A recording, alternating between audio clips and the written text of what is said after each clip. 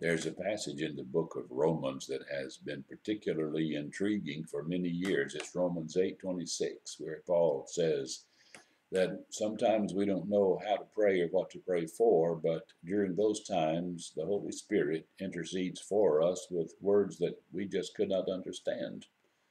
Intriguing, isn't it?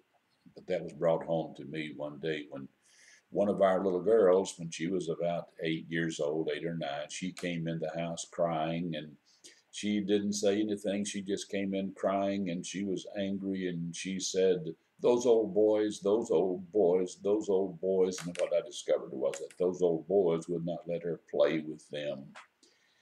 And so she came to me and I simply put my arms around her and said, It's going to be okay. Don't worry about it. We'll get it straightened out.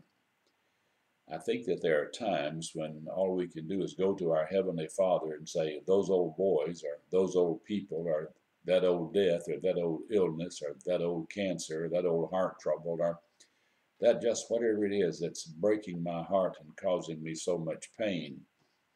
And then at that time, the Holy Spirit simply embraces us and says, It's going to be okay. I'm still here. I still love you.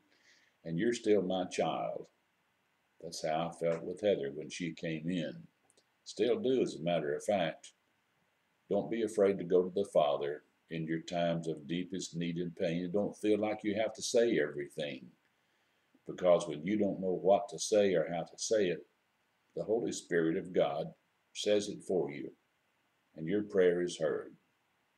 Thanks for watching today's Minute Message. Don Howell.